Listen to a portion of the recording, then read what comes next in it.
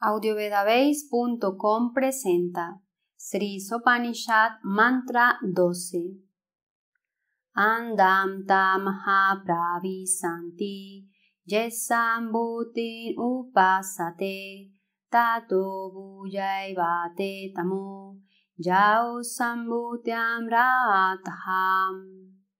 Traducción y significado por su divina gracia a Bhaktivedanta Swami Prabhupada Srila Prabhupada. Quienes se entregan a la adoración de los semidioses ocuparán la más oscura región de ignorancia, y peor será la suerte de los adoradores del absoluto. Significado. La palabra sánscrita asambhuti significa aquellos que no tienen existencia independiente. Sambhuti es la personalidad absoluta de Dios, quien es absolutamente, quien es absolutamente independiente de todo. En el Bhagavad Gita, la personalidad absoluta de Dios, Sri Krishna, se describe positivamente a sí mismo con, los, con las palabras siguientes. Yo soy la causa suprema de los poderes delegados a los semidioses, los grandes sabios y los místicos. Y puesto que ellos tienen poderes limitados, les resulta muy difícil saber cómo aparezco por mi propia potencia interna en forma de hombre. Todos los filósofos y grandes rishis o místicos tratan de distinguir lo absoluto de lo relativo con su pequeño poder cerebral. Sin embargo, esto solo puede llevarlos a negar la relatividad, sin comprender trazo positivo alguno del absoluto. La definición del absoluto por medio de la negación es un concepto incompleto. Tales definiciones negativas llevan al hombre a crear un concepto propio y a imaginar que el absoluto carece de forma y cualidades. Pero estas negaciones son simplemente el lado opuesto de las formas y cualidades relativas, y en consecuencia son relativas en sí mismas. Por medio de un concepto tal del absoluto, uno llega, cuanto mucho, a la efulgencia impersonal de Dios, conocida como Brahman, pero no avanza posteriormente hasta la etapa de Bhagavan, la personalidad de Dios. Los especuladores mentales ignoran que Krishna es la personalidad absoluta de Dios y que el Brahman impersonal es la efulgencia deslumbrante de su cuerpo trascendental mientras que el Paramatma, la superalma, es su representación omnipenetrante e ignoran también que Krishna tiene su forma eterna, con cualidades trascendentales de bienaventuranza y conocimiento eterno. Los semidioses y grandes sabios, cuya existencia no es independiente, realizan a Dios, de manera imperfecta, como uno de los poderosos semidioses, pues consideran que la efulgencia del, del Brahman es la última verdad absoluta.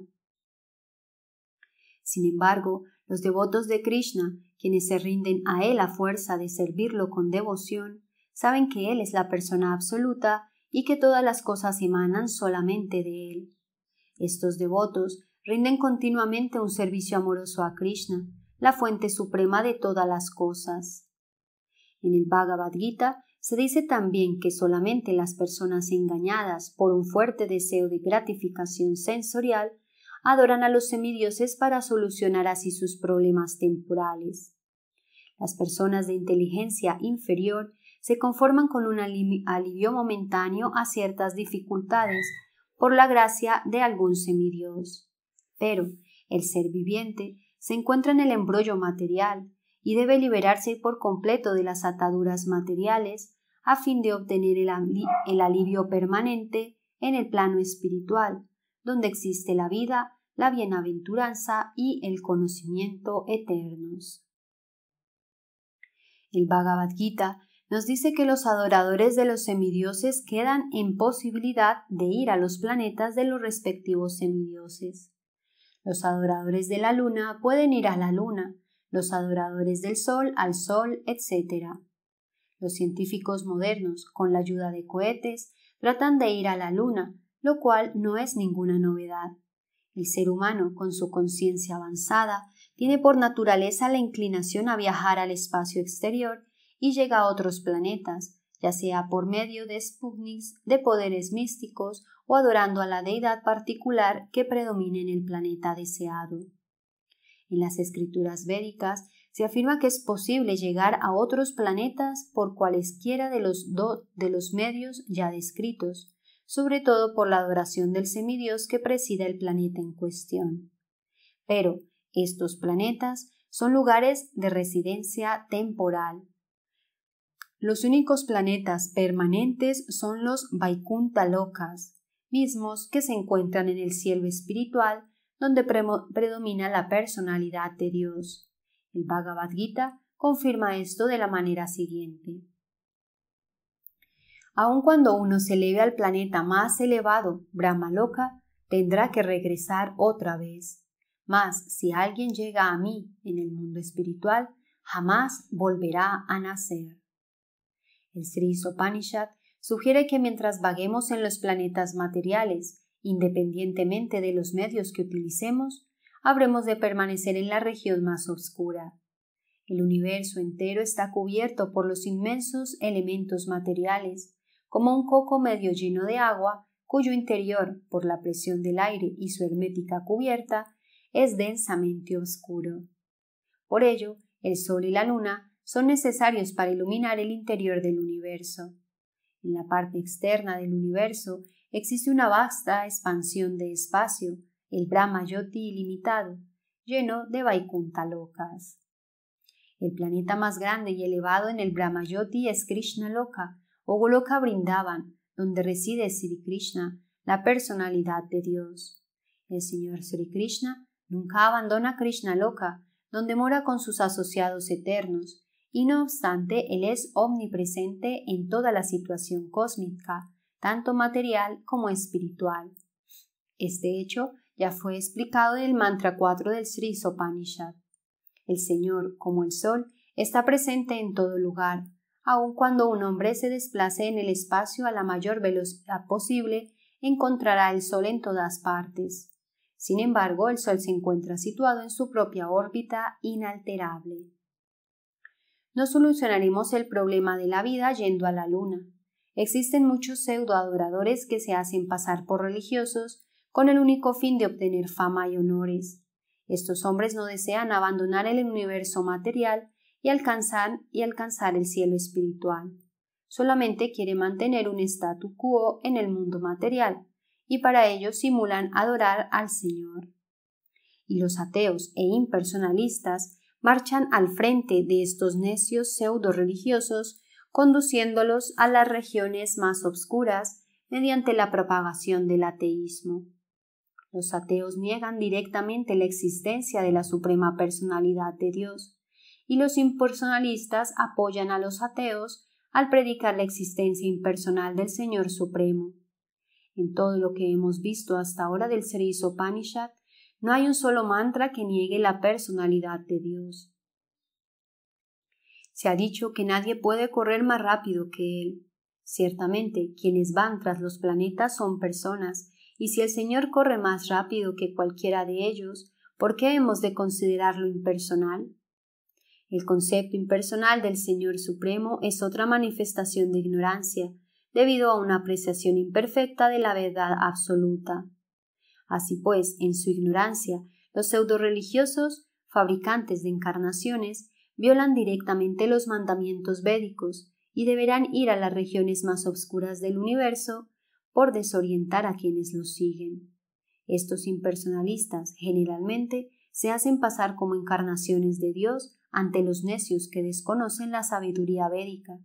Y si estos necios poseen algún conocimiento, eso los hace más peligrosos que si fuesen totalmente ignorantes. Los impersonalistas ni siquiera adoran a los semidioses como se recomienda en las escrituras.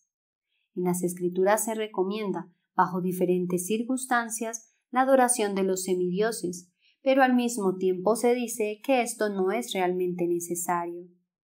En el Bhagavad Gita se afirma claramente que los resultados de la adoración de los semidioses no son permanentes.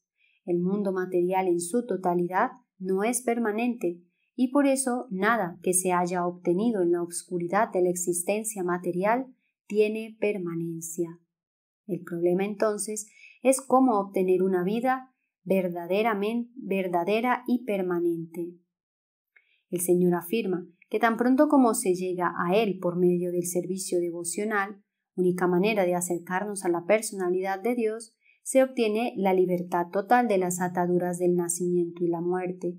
En otras palabras, el sendero de la salvación o liberación de las garras materiales depende por completo de los principios de conocimiento y desapego. Y los pseudo religiosos no tienen conocimiento ni desapego a las cosas materiales. La mayor parte de ellos desea continuar bajo las cadenas doradas de la esclavitud material a la sombra de actividades altruistas y filantrópicas y en nombre de principios religiosos. Sus falsos sentimientos religiosos les dan una imagen de personas entregadas al servicio devocional, pero en realidad se dedican a toda clase de prácticas inmorales y no obstante se hacen pasar por maestros espirituales y devotos de Dios.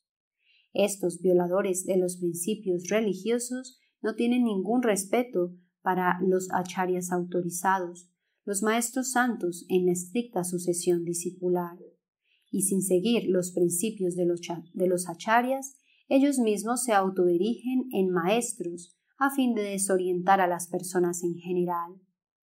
Estos bribones son los elementos más peligrosos de la sociedad humana, y debido a la necesidad de una autoridad religiosa, no reciben el castigo de la ley, mas no escaparán a la ley del Supremo, quien en el Bhagavad Gita afirma claramente que estos envidiosos demonios que operan disfrazados de propagandistas religiosos serán arrojados a la región más obscura del infierno.